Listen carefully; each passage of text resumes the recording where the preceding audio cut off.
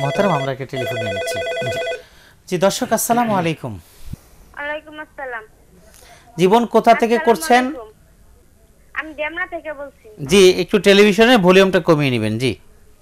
আচ্ছা হুজুর আমি শুদ্ধভাবে কোরআন শরীফ পড়তে পারি না। জি।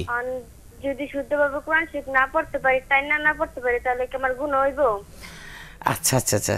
আপনার গুনাহ হবে কিনা ইনশাআল্লাহ আমরা আমাদের অতিথির কাছ থেকে জানব। তবে স্বাভাবিক দৃষ্টিকোণ থেকে তো আমাদের তাই মনে হয় যে গুনাহ তো অবশ্যই হবে যেহেতু কোরআন আমাদের শিক্ষা করা ফরজ ফরজ ছিল। যাই হোক আপনি দেখতে থাকুন ইনশাআল্লাহ আমাদের অতিথির মাধ্যমে আপনারা জেনে নেবেন ইনশাল্লাহ আমাদের এক বোন করেছেন ডেমরা থেকে তিনি কোরআন তেলাবাত করতে পারেন না।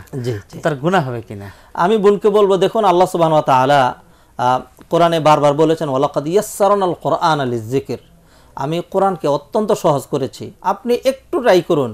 আপনি যদি মানে দশটি ঘণ্টা সময় কোরআন শুদ্ধ করার জন্য ব্যয় করেন, তাহলে আমি বলব এটা মোর দেন সাফিসিয়েন্ট যথেষ্টের চেয়ে বেশি।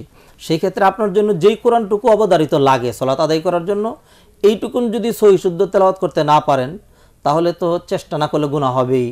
তবে পুরো কোরআন কেউ যদি সহি শুদ্ধ করে করতে না পারে, আট দশটা সুরা যেটুকুন তার লাগে, এটুকুন সহি শুদ্ধ করে পারে, তাহলে বাকিটুকুন সহি শুদ্ধ না পারলেও আশা করি তার গুণা হবে না। তবে মৌলিক যেইটুকুন তার সলাতের জন্য দৈনন্দিন বিধিবিধান আদায়ের জন্য জরুরি এতটুকুন কিন্তু বিশুদ্ধ তেলাওয়াত শিখতে হবে। আর কারও যদি অশুদ্ধ থাকে চেষ্টা সাধনার করেও তিনি তার শুদ্ধ না হয় তাহলে সেটি আল্লাহ মাফ করবেন। তবে কিন্তু চেষ্টা সাধনা করতে হবে। জি ধন্যবাদ।